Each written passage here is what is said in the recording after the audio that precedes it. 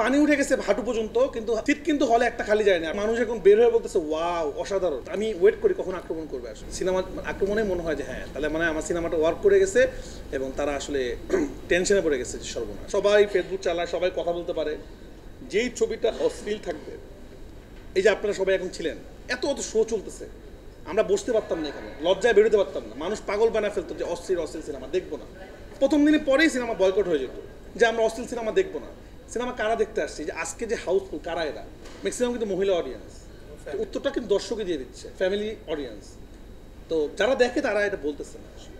ওই ওইটা বললাম মানে তারা আসলে এখন এক এক সময় এক একটা ভাবে বলে। মানে পড়ার সময় বলছে যে সব দর্শক অন্য সিনেমা পড়ার নামে নামে বসি ফেসবুকে হিট এখন যখন জোয়ার ভিডিও বের হয়ে যাচ্ছে কিছু তো একটা বলতে হবে। তো এটা বলছে বাট আমি তাদেরকে বলব প্লিজ আপনারা আরও বলেন।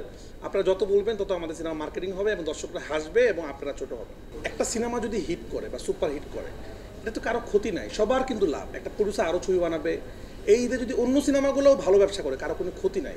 কিন্তু আপনাদের একটা জিনিস দেখতে হবে, কারা এটা করছে? মানে যে গ্রুপটা এটা করছে, তারা হয়তো চায় এই ইন্ডাস্ট্রিতে এমন কেউ না দাঁড়াক যাতে সিনেমা হিট করে। মানে আমরা সারা জীবন কী চাই? যে সিনেমা নিয়ে জয় জয় করে গল্প বলব। যে আমাদের ইন্ডাস্ট্রি ভালো। আমরা কেন সবসময় আপনাদের কাছে বলব যে সিনেমা ইন্ডাস্ট্রি নাই, মরে যাচ্ছে, আমরা খাইতে পারতেছি না, মরতে পারতেছি না, প্রধানমন্ত্রীর কাছে ভিক্ষা চাবো কেন? আমাদের দেশে যথেষ্ট ভালো মেধাবী ডিরেক্টর আছেন, অভিনেতা, অভিনেত্রী আছেন। আমাদের দেশে ব্যবসা করার জায়গা আছে। আমাদের অডিয়েন্স সিনেমা দেখে, বৃষ্টির মধ্যে আপনারা দেখেছেন। পানি উঠে গেছে হাঁটু পর্যন্ত, কিন্তু সিট কিন্তু হলে একটা খালি যায় না, আপনারা কেউ দেখাতে পারবেন না, সিট খালি গেছে। তার মানে কি, আমাদের অডিয়েন্সের কোনো দোষ নাই। কিন্তু একটা পক্ষ চায়, এই জিনিসটা বিরাজমান রাখতে যে আমাদের সিনেমা বাদে কারও সিনেমা চলে না। তো তারাই যখন দেখছে যে রায়হান রাফির সিনেমা বা আরফান ইস্যুর সিনেমা বা রেদর্ননের সিনেমা বা শারিয়া শাকিলের সিনেমা বা তমামিজার সিনেমা সুপার ডুপার হিট হয়ে যাচ্ছে, তখন তারা টেনশনে পড়ে গেছে, এবার তো আমার চেয়ারটা শেষ। এই যে ব্র্যান্ডিংটা সারা জীবন সবাই বলে যে আমার সিনেমা বাদে কারও সিনেমা চলবে না, এটা ইন্ডাস্ট্রির নিয়ম, এই নিয়মটা ভেঙে দিতে হবে। এই জন্য তারা কী করছে ডিরেক্টলি না করতে পারে বিভিন্ন মাধ্যমে করছে। আমি তাদেরকে অনুরোধ করব, এগুলো করে আপনারা নিজেদেরকে ছোট করছেন।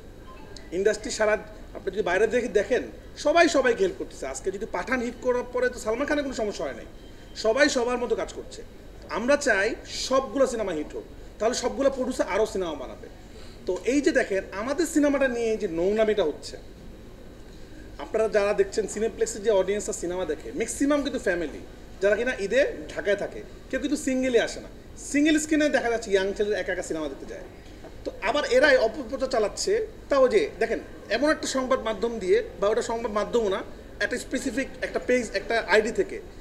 কেটে কেটে জোর করে বলতেছে, এটা এটা অশ্লীল সিনেমা না? হ্যাঁ হ্যাঁ অশ্লীল সিনেমা এই যে অপপ্রচার, এটা দেখলে বোঝাই যাচ্ছে অপপ্রচার। অডিয়েন্সই উত্তর দিয়ে দিচ্ছে।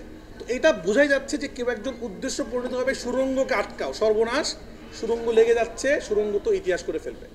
তো আমি জাস্ট একটা কথাই বলতে চাই আপনাদেরকে। কালকে আমি একটা স্ট্যাটাসও দিয়েছিলাম এটার জন্য। যেই সিনেমা মানুষের মুখে মুখে চলে যায় সেই সিনেমাকে পৃথিবীর কেউ আটকাতে পারে না। আপনি যতই বলেন যত কিছু করেন, আমিও পারব না, কেউই পারবে না। আর যে সিনেমা লাগবে না, সেই সিনেমার পাঁচশো কোটি টাকা মার্কেটিং করলেও লাগবে না। সেটা আমরা ইতিপূর্বে দেখেছি, অনেক কোটি কোটি টাকা মার্কেটিং করে সিনেমা হিট করতে পারে নাই আর পরানো আমরা এক টাকারও মার্কেটিং করি নাই পরানো তো এত, আমিও এত বুঝতাম না, আমাদের প্রডিউসারও ছিল নতুন। তো সেই পরাণ কতদিন চলছে? অনেক আলোচনা হয়েছে, অনেক কিছু হয়েছে। পরাণ কিন্তু দুশো দিন চলছে বাংলাদেশ সিনেমাতে। একটা ঈদের সিনেমা আরেক ঈদে চলছে। তো সুরঙ্গ যখন চলতেই থাকবে চলতেই থাকবে, তখন তাদের মুখ বন্ধ হয়ে যাবে। এই যে এই চমকটার জন্য রিলিজ দিল এই যে মানুষ এখন বের হয়ে বলতেছে ওয়াও অসাধারণ। এইটার যেন মানুষ ওয়াওটা পায়, সেই জন্য রিলিজ করে দিল। আর আমরা টেইলার এবার একটু ভিন্ন পথে গেছে। মানে একটা সিনেমা টেইলার রিলিজ দিতেই হবে, এমন কোনো বাধ্যবাধকতা নাই কিন্তু। এটা আমাদের ইচ্ছা আসলে। আমরা কতটুকু অ্যাডভার্টাইজমেন্ট করব আসলে? আমাদের টেকনিকটা ছিল যে আমরা টেইলার টিজার কিছুই দিব না, আমরা নতুন একটা স্টাইল তৈরি করব। এটা আমাদের চরকি থেকে এই প্ল্যানটা হয়। আমরা এটা আমার পূর্বাভাস দিব যে হ্যাঁ একটা কিছু একটা আসতেছে, ঝড় আসছে। তো টেইলার দিলে আমরা ভাবছিলাম যে গল্প রিভিল হয়ে যাবে। তো টেইলার না দেওয়াতে দর্শক কিন্তু প্রথম মন খারাপ করেছিল। বাট সিনেমা দেখার পর কিন্তু সবাই বলছে টেইলার না দেওয়াতে তাদের জন্য অনেক ভালো হয়েছে। তারা শেষ দৃশ্য পর্যন্ত ওয়েট করছে, কি হবে কি হবে কি হবে?